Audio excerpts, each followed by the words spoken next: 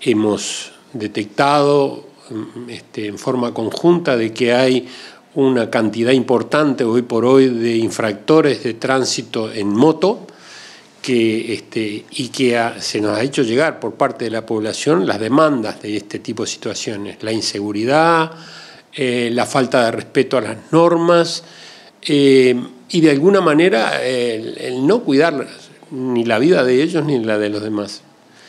Eh,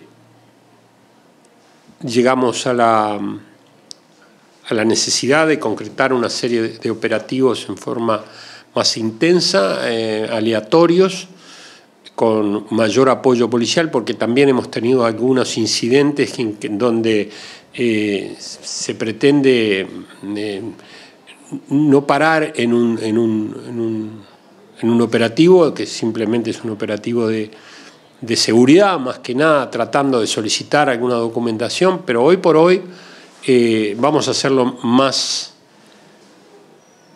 más recio este tipo de controles. O sea, todos la falta de elementos de seguridad que tengan va a ser motivo para sacar de circulación ese vehículo la falta de chapa, la falta de espejo, la falta de...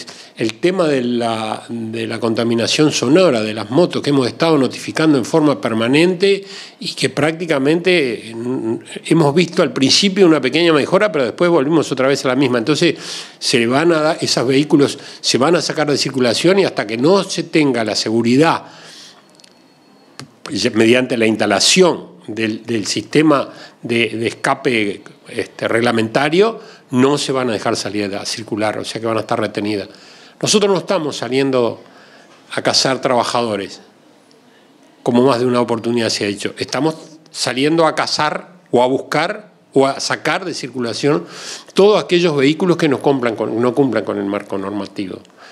Eh, si en forma de casualidad o por, por eh, se quemó una luz o se, descolgó una chapa, pero se tiene y de alguna manera se quiere.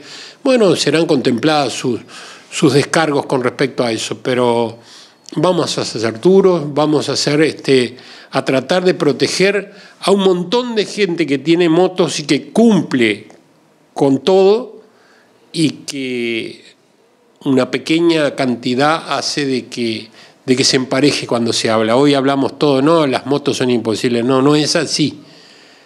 Ahí Maldonado tiene eh, este, 140.000 motos empadronadas. Y quienes incumplen, yo te, me animaría a decirte que no son más de 500.